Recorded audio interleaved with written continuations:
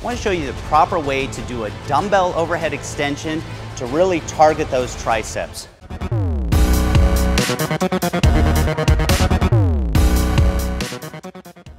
Now, like with all your tricep exercises, I want you to focus on keeping your elbows in a fixed position.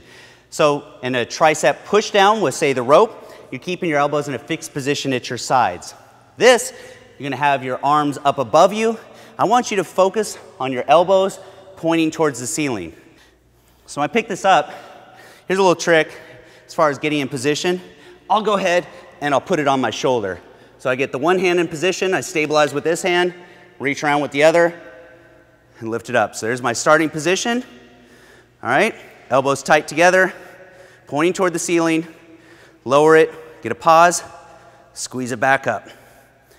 All right, focus on that negative, that's controlling the weight down, squeezing it at the top, that isometric.